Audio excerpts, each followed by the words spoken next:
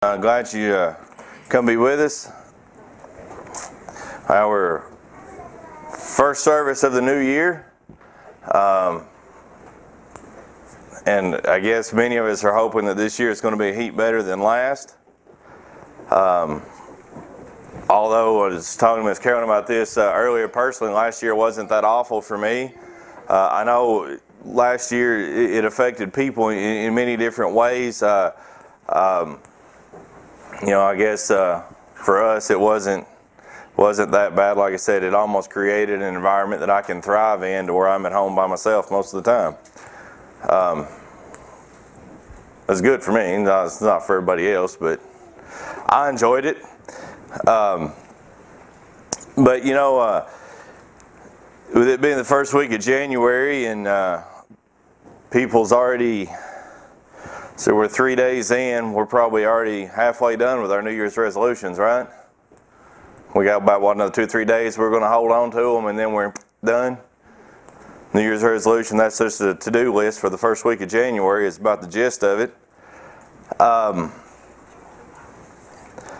but within the, the new year, starting out, there's uh, no doubt going to be many challenges and things we get to face. Uh, I know uh, right now one of the biggest decisions that people get to make is uh, uh, to take or not to take a vaccine. I know that's a topic of many people's conversations. There's lots of, uh, of very strong, and I mean strong opinions about it. Um, I'm not going to get into my opinion on those. And uh, uh, your choice is your choice. Your plans are your plans.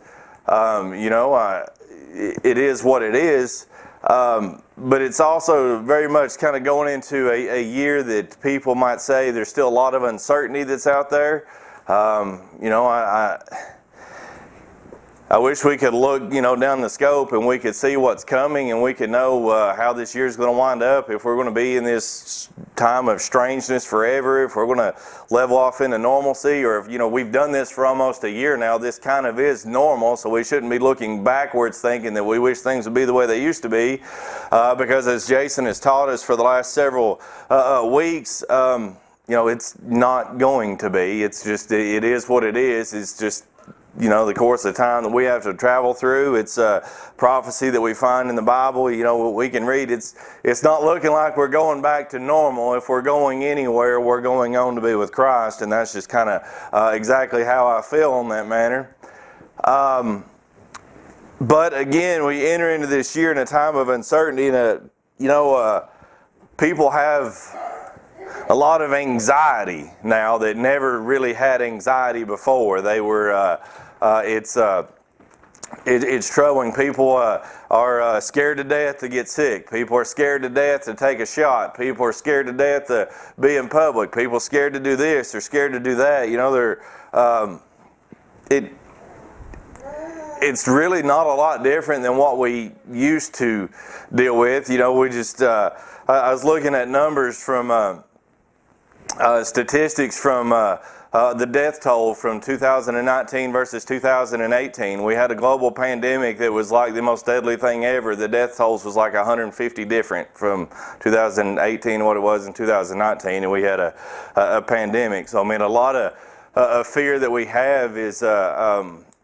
you know, it's kind of in our mind, and we, we, we have a bit of this anxiety.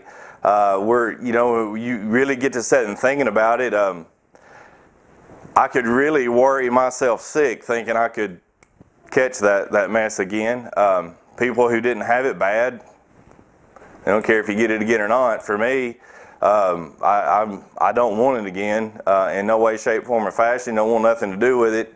Uh, corona is not welcome in my house. Um, but you could easily go down that road and scare yourself to death. And I know a lot of people do that. They just kind of stay trapped in this bubble of fear and it, it, it worries them to death. Uh, you know, you have enough to worry about as it is. You know, you got uh, uh, four kids to take care of, you got a job, you got bills, you got all these things that you got going on. You don't really have time to sit and worry about a whole lot. And um, as you think of all the things that you could really stress and worry about on a normal basis, you know, it, it, it's we was talking about eating the hog jaw and whatnot for for the New Year's to bring good luck. And I was talking to mom the other night. I don't I don't really buy into superstitions in any of, of any kind. Uh, I know people do, and to each their own, but I don't. Um, maybe that's because I've never really had a whole heap of good luck. Uh, maybe I should. Maybe I should start partaking in the black eyed peas. I don't know. Um, only if it wasn't for bad luck, I wouldn't have no luck at all. Uh, that's just kind of the way it is. And I, I had told the people I work with uh, early in the year, we was talking about the whole coronavirus, and they said, if you know, if anyone in our department is going to get it, it's going to be you. And I was like, I know. I was talking to Miss Carolyn earlier. I said, you know, if I take that daggum vaccine, I'd be the one who grows an arm out my nose. That would just be my luck. You know, that's just the way it goes.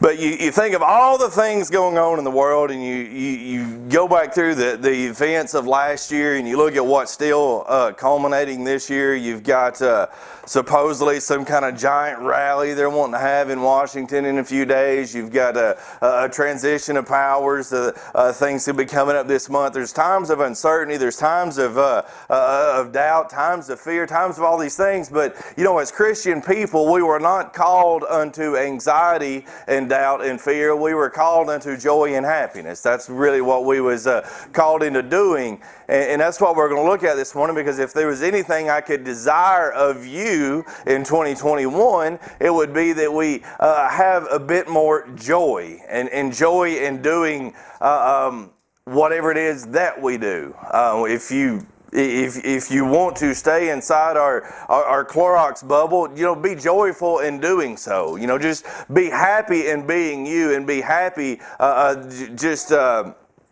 you know, we talked about this a few weeks ago, and it's kind of uh, uh, uh, been brought up in, in each message since. But, you know, godliness with contentment is great gain. we should be content wherewith we are and if you open your Bibles up into the book of John this morning, we're going to talk a little bit. Uh, uh, uh, actually, we're going to try to talk a lot about joy, but we're going to have to talk about something entirely different to even get there. Um, and I'm going to do just a little bit of reading and a whole lot of jumping this morning. And on my Bible, it's uh, nice because it's on the same page. But we're going to be reading from John chapter 14 and John chapter 15. But we're going to skip a whole lot in between. Does that make sense? Of course it does. Right? All right. Got your Bibles, open them up to the 14th chapter of the book of John. We're going to begin reading in uh, verse number 15, and then we're going to skip a long way over into John chapter 15, okay? So, John chapter 14, verse 15, the Bible says this If you love me, keep my commandments. Jump with me to John chapter 15, verse number 10.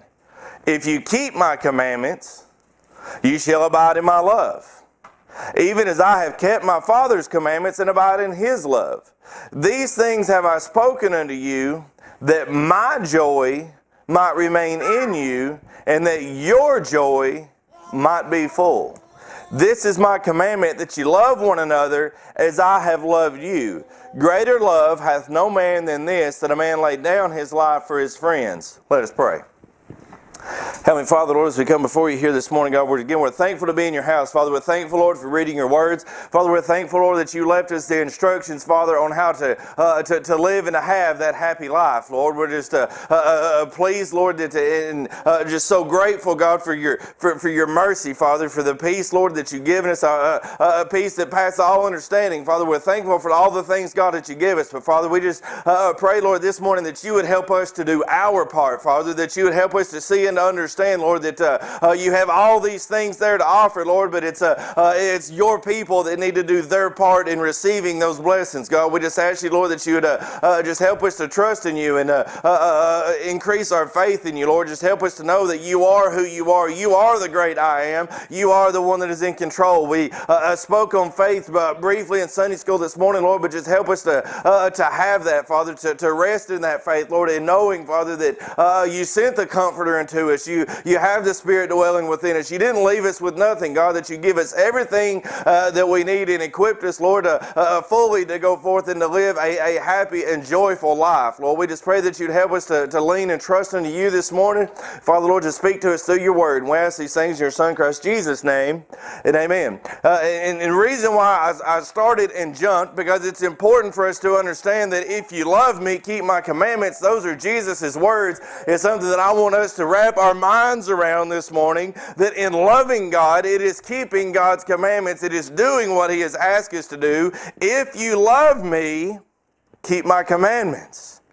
If you keep my commandments, ye shall abide in my love. And we understand we I say we understand, we can't fully grasp God's love for us. We can't grasp and fathom the love that Christ had for you and I. It's hard for us to understand uh, someone who would leave glory, leave the place that we read on just a few minutes ago, to leave that, to come to a place like this and to take on the sins of all humanity and give his life for all of us. It's hard for us to wrap our minds around that.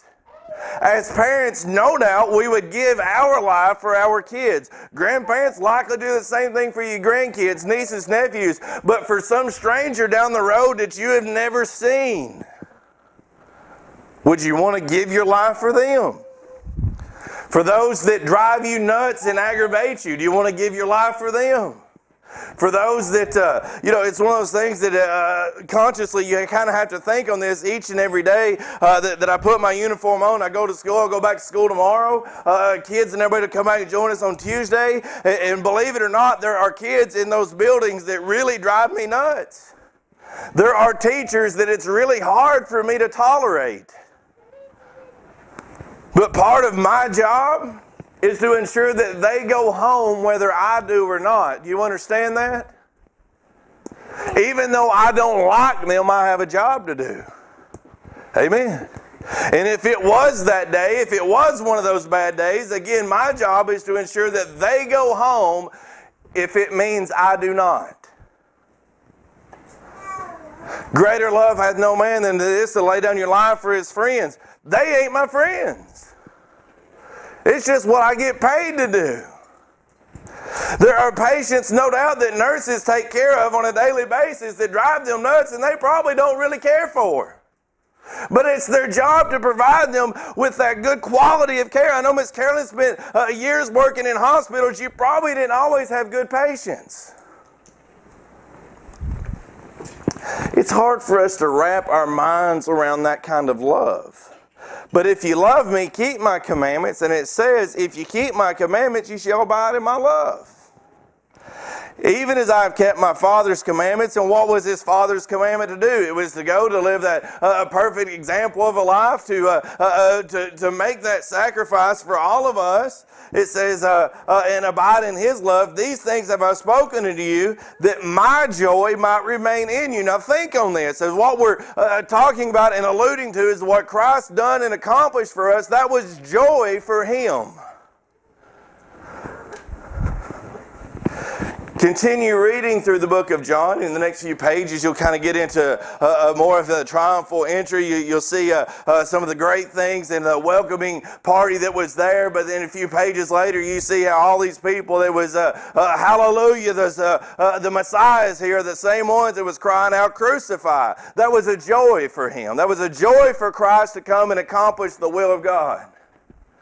Even though the will of God meant that he was going to hang on the cross of Calvary. That was a joy.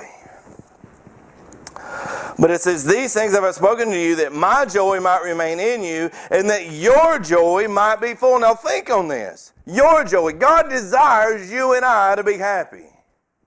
God does not desire us to just smile. God desires us to be joyful and to actually be happy.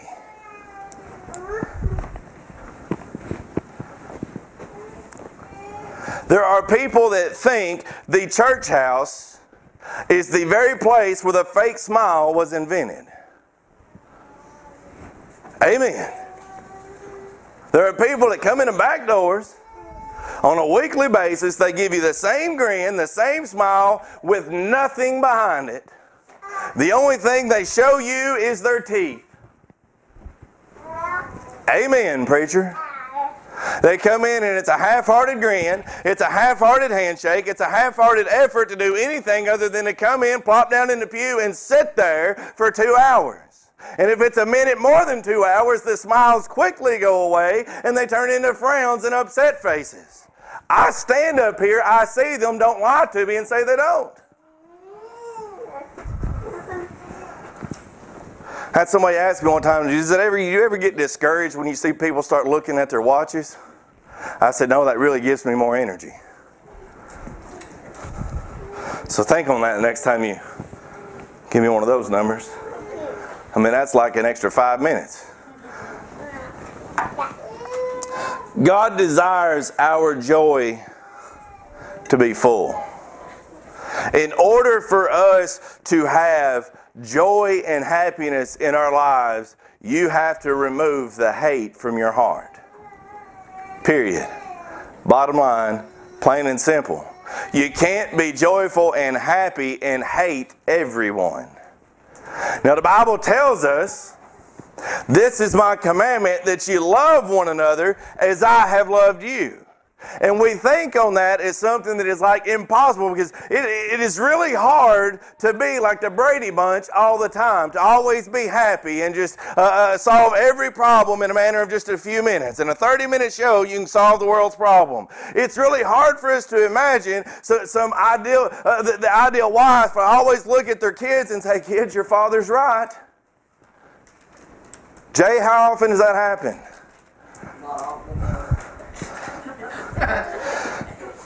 It goes more like, kids, why'd you ask your daddy that? You know he ain't never been right. Amen. It's kind of the way it goes. But we think of the people that have that kind of love as being fake. They're, they're pretenders. It's make believe. You can't have that love. You can't love everyone. You can't be nice all the time. You can't just always turn your cheek because sometimes you got to cut your tongue loose. Sometimes you got to give somebody a lecture. Sometimes you really got to bless them out. Sometimes, in order to make myself happy, I need to just explode on somebody. Sometimes. Well, you know, those of us Christians that have that mindset, read your Bible. Jesus walked into the temple one day and he flipped the tables over, spilled everything on the ground. He run the money exchangers out with a whip. Jesus, he, he looked at the scribes and the Pharisees and he said, Woe unto you, you hypocrites! Jesus called them out. It's not we go we look at this and it's something that is so hard for us to attain. You can't love everyone. We think that loving everyone means that we just have to be uh, overly happy and joyful all the time and just exuding, you know, uh, uh, rainbows and smiles wherever we go. God did not call you and I to be fake. He called you and I to be joyful. And He told us to love one another. He told you and I to love one another. Letting someone live whatever kind of lifestyle they want, being okay with it, that's not love. It's not what it is because if you love your neighbor, you're going to be willing to correct your neighbor. If you love your family, you're going to be willing to call them out. If you love them, you will receive what they have to say. If you love them, you're not going to be yelling and fighting and arguing with one another because they said something that you don't agree with. People that love one another get this, they get their feelings hurt. And then do you know what they do? They talk about it like adults. They will say, Excuse me, Matt, you have hurt my feelings. Because if you don't address the issue, the other party never knows there was an issue. They get to go on being happy and joyful. You live in misery.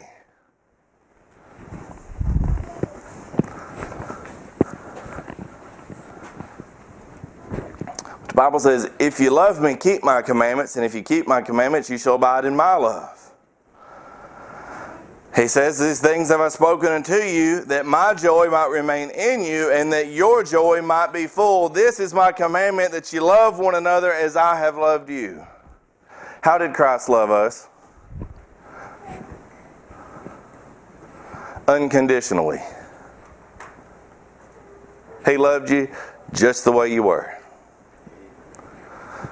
When God saved you, He saved you just the way you was.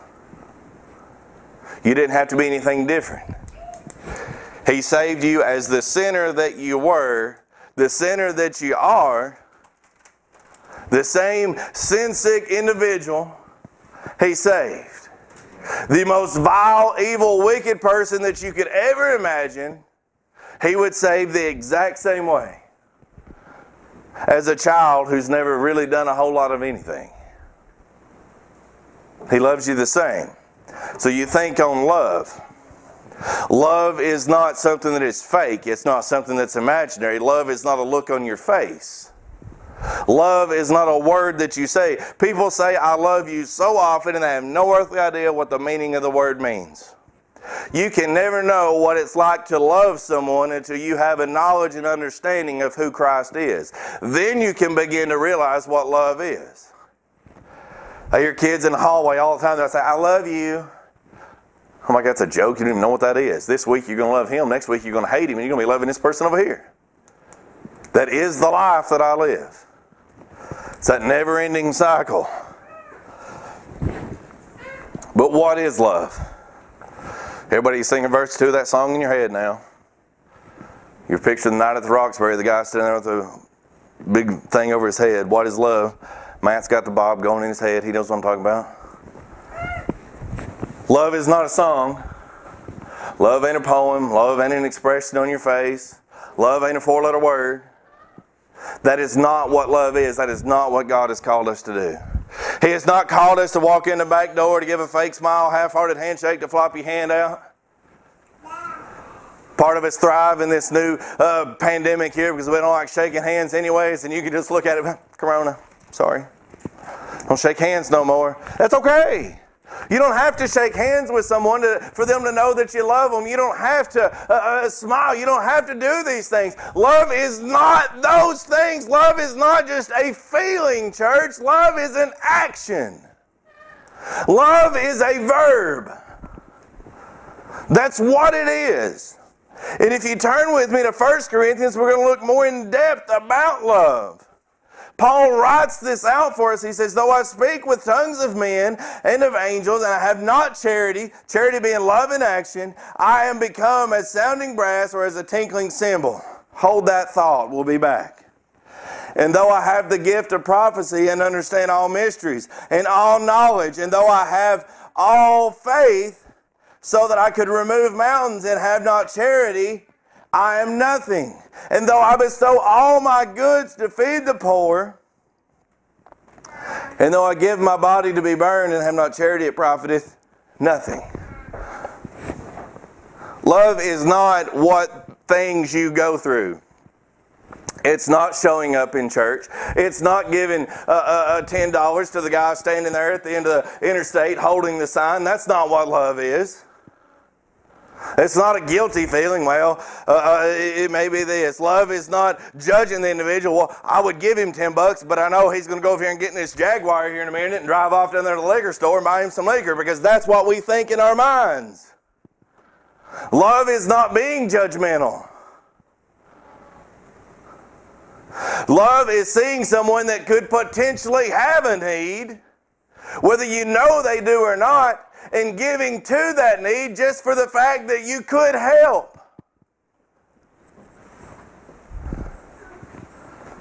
But we, we want to conditionalize everything. Well, I haven't seen this guy and I'm going to help him, but how I'm going to do it is, is I'm going to put him in my car and I'm going to, if he says he needs food, I'm taking him over here to the Wendy's and he will order him food and I'll pay for it. That's the only way I'm doing it. It's the only way I'm going to help him. It's going to be on my terms and it's going to be on my conditions. Hey, I know this family over here is in need, but I'm afraid that they're drug addicts. So this is the only way I'm going to help them. I'm going to give them a gift certificate to Jerry's. You know why I'm going to do it for Jerry's? Because they can't buy beer and they won't let them use it for tobacco or cigarettes. They can only use it for food. My terms, my conditions. That's the only way I'll do it. Friend, that ain't what love is either. Keep your money in your pocket because you ain't doing nobody no favors. You're not doing that for the love of your brother. You're not doing that uh, uh, for, for the kingdom of God. You're not doing that because Christ dwells in your heart. You're doing that to satisfy your own selfish desires. You're doing that to make yourself sound better. You're doing those things, as it says up here in the first verse that we read, become as a sounding brass or tinkling cymbal. You're just doing it to make noise. Noise. How often does just noise annoy you? Does noise in here annoy anybody other than me? You ride down the road, and the kid's got like 30,000 drinks and cups in whatever vehicle we're driving. Parents, you know what I'm talking about. And lo and behold, there's always going to be a can or one of them, uh, them big heavy metal things like this that makes good noise. It's always sitting in the cup holder on top of like three quarters and two nickels. And they rattle constantly going down the road. And after about five miles, I've had it. And I'm about to explode. And I start looking. I'm driving. I don't care what's going on around me. I'm looking. Mindy already knows to find the noise. There's a noise somewhere. And she knows husband is about at his wits' end. Remove the noise back in La La Land, turn the radio back up. I can go back to having my concert in my own little world, driving down the road. All's well. Them dadgum seatbelt things, the most annoying things they've ever put in a car. If I wanted to wear my seatbelt, I would click it. You know what I'm saying? I don't need my car to annoy me every 30 seconds. All right?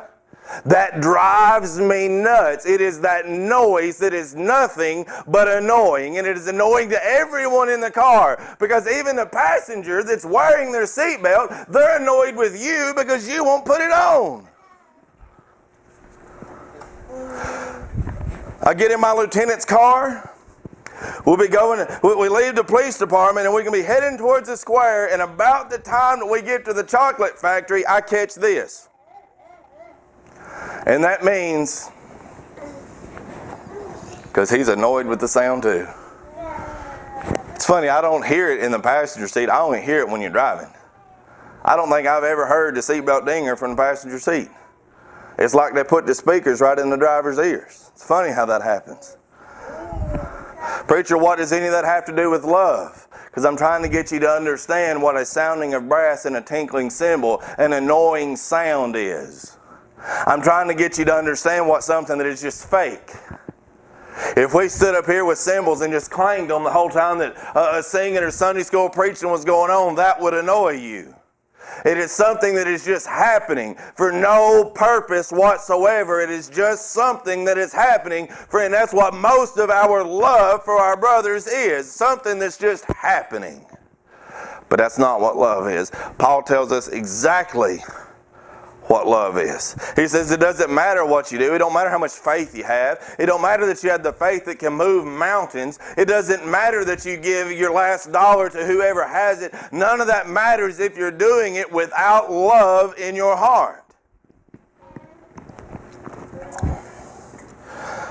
My Bible gives this definition of charity. It says selfless, sacrificial concern for the welfare of others. It is love without conditions and without reservations. That's what love is. Paul goes on to explain it.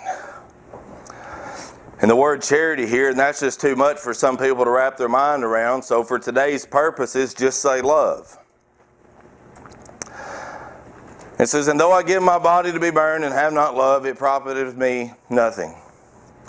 It says, Love suffereth long love lasts. If you actually are going to tell somebody that you love them, but then they wrong you in some way, and then a few weeks later you say, You're dead to me, I'm done with you, you never loved them to begin with. Amen. You didn't. You might have had a little funny feeling in the pit of your stomach about them, but you didn't love them. Love, it suffereth long and is kind. Love is kind. How many people in here are kind? How many people are kind to others? How many people in here are continue to be kind no matter the circumstance? Jamie and I worked at Pizza Hut on Sundays like throughout the whole time we was in high school. You never found kind people on the Sunday buffet. People, they, they put on them smiles when they come in church house. They might even give you a firm handshake. But you put mushrooms on their pizza when they said no mushrooms, kindness is out the window. Kindness goes away. The people are not kind. You have wronged me in some way. I no longer have to show love unto you because I have been wronged.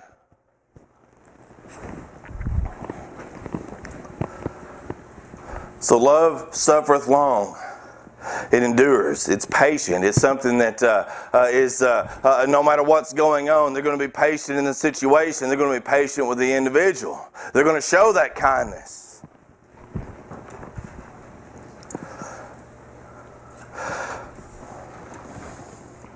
Charity suffereth long and is kind, and charity envieth not. Charity don't say, "Well, wish I had that." You know, I might could love too if I had what you had. If I was raking down six figures a year, I could be happy, yeah. I could do those things. I could be happy with that. No, you couldn't because godliness with contentment is great gain. Keep remembering that. That is important for you and I to have that contentment because without contentment, we're not ever going to have the, the happy and the joy and the love. We're not even going to be able to show. How many times a week do you say, I wish I had or I wish in some form of something that someone else has. You see somebody driving a new vehicle down the road, wish I had one of those. You hear so and so who just uh, bought a new house. I wish I could buy a new house. You look at so and so who has a farm. I wish I had one of those. You look at this. I wish I had that. I wish, I wish, I wish. Charity and love envieth not.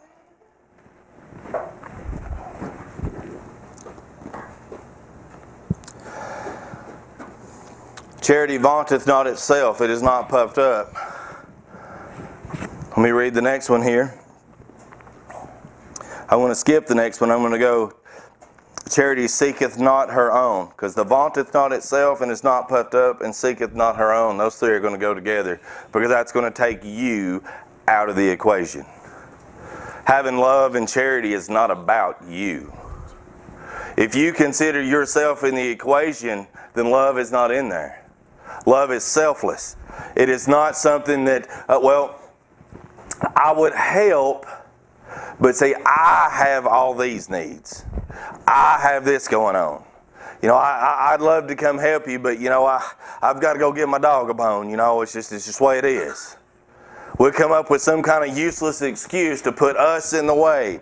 Love vaunteth not itself, it is not puffed up and it seeketh not her own. It's not about you. You're not doing it just so you can post it on Facebook and say, look what I did. You're not doing it so you can tell the world. You not got your selfie stick holding up here while you're handing the bum $20. That way you can take the picture and send it to all of humanity. That's not why you did it. That's not what love is. Love isn't the story that you tell on your social media. Love is not about you and it's not about telling everybody else what you have done. It's not about that. Church, I can't uh, stress to you enough that love is not about you at all.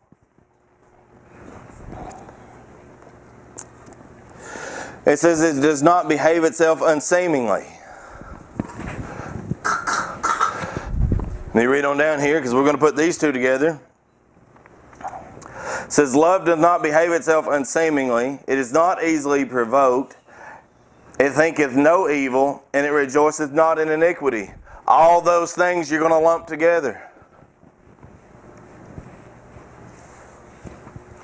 You're not going to smile when you say someone gets what they deserve and claim to have love in your heart. Well, they had it coming to them. That's what they get. How many times you say that? How many times you say that a week? Well, that's what they get. You play with fire, you're bound to get burned. What they think was going to happen? Church, that's not love. You might be telling them the truth, but you're not telling them with love behind it. That's not love is not saying, I told you so. Love is not happy when you see people go through bad things. Love is not about that. It says, is not easily provoked and behave itself unseemingly. Love ain't party it up when you think nobody's looking. Love is not living the, any kind of lifestyle that you desire and presenting yourself uh, uh, to be the fake person on Sunday morning. That's not what love is. Why are these things important? Because I want you to be happy, church.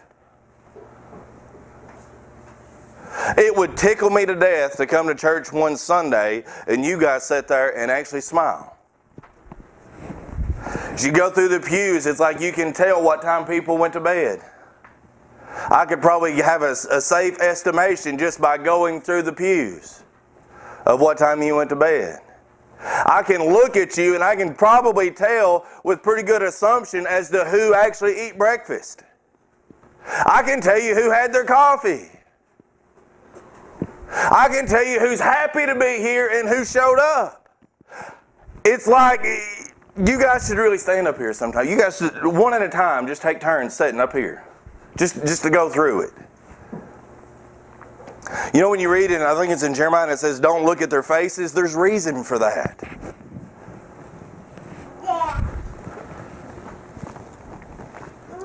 It's not easily provoked. Sometimes I don't think it'd take much push for me to go postal and become a terrorist. I really don't. I tell Minnie this all the time. People absolutely drive me nuts. I'm not the only one in here that people drive nuts, right? I drive a lot of you guys nuts, guarantee it. I can tell by the look on your face I drive you nuts.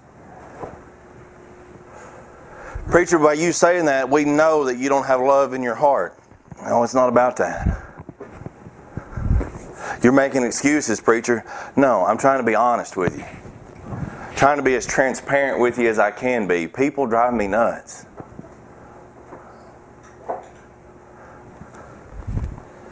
You want to test the smarts of an individual? Put blinking lights in front of them and you stand in the road and attempt to direct traffic. You can see that most people that drive don't have an IQ of a goose. I'm telling you the honest truth. It's hard. Church, I'm not trying to tell you things that ain't true. I know how hard it is to love people. Some people are hard to love. But we're thinking on this in a manner that you have to have that warm and fuzzy feeling about everybody. It's not. Because you can love people that you may not really like. You can love people that you can't really get along with. Because love is the action that is there, it is the sincerity that is within it. It does not behave itself unseemly, and seeketh her own, is not easily provoked, and it thinketh no evil.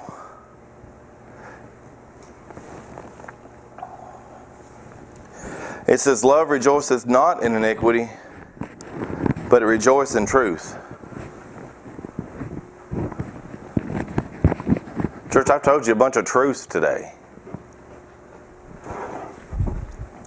Things that should make us happy. You know, as Jason is teaching Sunday school and we're going through the new heaven and the new earth, that should make your heart well up. You should be emotional in thinking on these things. When you hear that somebody has gotten saved, you should well up on the inside. That should make you emotional because that means that there truly is love and joy in your heart for others. Even if it's someone that you don't like and you hear good things have happened, you should be happy on the inside because you are rejoicing for them. You're happy for them. You're happy in them, sir. You're glad that they got these things. It should not always be an Eeyore attitude.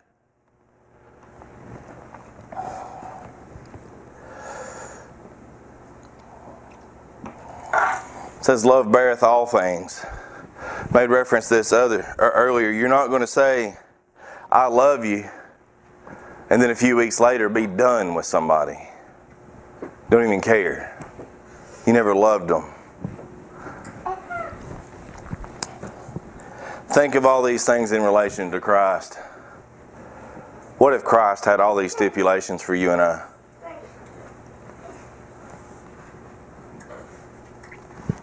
Just let's take two. What if God's love wasn't long suffering? And what if God's love didn't bear all things? Where would we be? I can tell you it's in a place called hell, is exactly where we would be. God's love is overwhelming. God's love is something that we can't fathom and understand. God's love means that you leave 99 good sheep to go look for the one that went astray. That's what God's love is. It's it, it, it, it don't make sense to us. That's why it's hard for us to show that love to others. But it says, Love beareth all things, love believeth all things, love hopeth all things, and love endureth all things. Preacher, the only way you could be that kind of person is to be so naive. No. No, that's not it.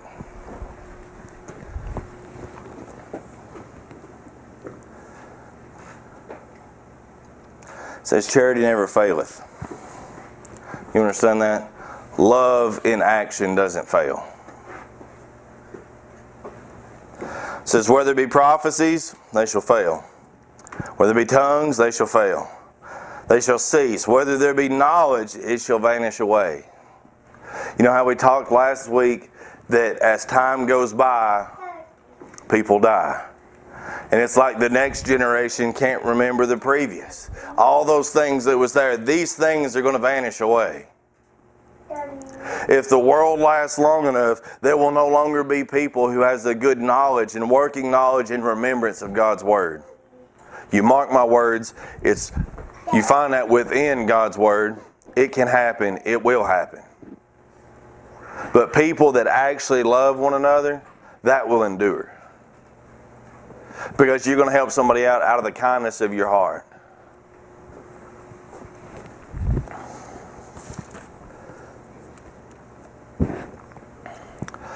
The Bible says this in Second Thessalonians it says, And the Lord direct your hearts into the love of God and into the patient waiting for Christ. Why is it important for you to love others? Why is it important that when you're out and about that you have love for one another? Oh, because that's what Christ did. And he's our example. What happens if you've overslept and you got uh, whatever going on on a Monday morning? You're running late. You spilled your coffee all over your pants.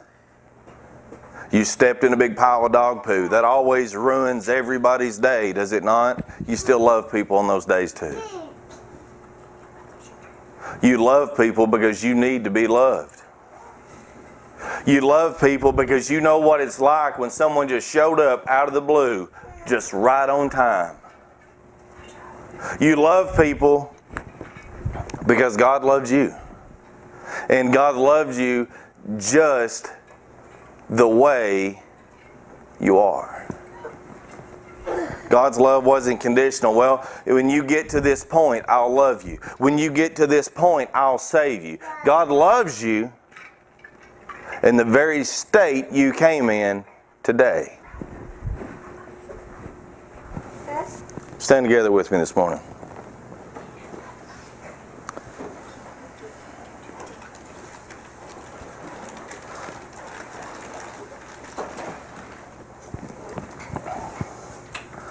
Jesus said this He said, If you love me, keep my commandments. He says on the opposite page of my Bible, This is my commandment that you love one another as I have loved you you go back and you study what everybody refers to as the love chapter. You study First Corinthians chapter 13. You read and you, you, you, you take each individual part of what Paul is saying and you study that through yourself. You look at that through your heart. Church, this is more for me than it is for any of you. God desires us to love one another. He don't desire us to smile. He don't desire us to wave. He don't desire, desire us to just look happy. He wants us to be full of joy and to have love for one another.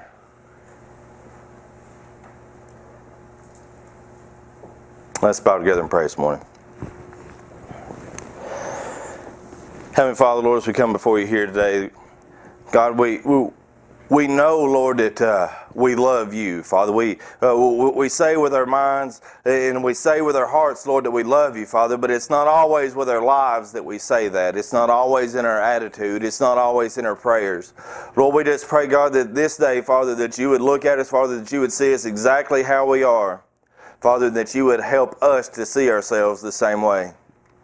Father, we pray, Lord, that you would help us as we look out at the world, Father, as we go out and we live our lives this week, as we go and we do. Father, we pray, Lord, that you would give us your eyes, that you would help us see, Father, from your perspective, from your point of view. Father, we pray, Lord, that you would help us, God, to show the love to others that you have for us. Father, we, we pray, Lord, that you'd help us to see that we don't deserve mercy, but yet you gave it, Father. We pray, Lord, that you'd help us to see that even though someone else, they may have wronged us, Lord, that you, you would Father, just give us the ability, Father, and desire in our hearts to show that mercy to others as well. Father, we just pray, Lord, that uh, uh, we would get ourselves out of the way, that we wouldn't do things, Father, just for a show, Father, to, uh, to for it to be to, to be seemingly, Father, for uh, uh, it just uh, to, to make us look good, or because someone's looking, or well, you know, I'm part of the church. This is what I'm supposed to do, Father. We pray that you'd help us to to just get rid of that attitude, Father, and put your love deep within our hearts, Father, and the desire Lord, to go forth and to serve our brothers, Father, just to, uh, to be a willing vessel, Father, just to be the helping hand, Father, to do it just because. Father, help us take us out of the way, Father, and, and, only focus upon you and, Father, your will and the things that you would desire us to do. Father, then the love comes natural. It comes uh, uh, easy for us, Father, if we're living our lives according to your will. Lord, we just pray that you just watch over us, lead, guide, and direct, and bless us this year. Father, we pray, Lord, that here at Oakdale, Father, that it, uh, this new year, Father, as long as we're here, Father, that we would be centered in your will, Father, in doing, God, what you would desire us to do. Father, uh, help us, Lord, just to fill this house, God, uh, with your love, Father, so that it spills out into our community, Father, and it's a shining light for all those that, uh, that, that are around, Father, and that we encounter, Lord. We ask all these things in your Son, Christ Jesus' name, and amen.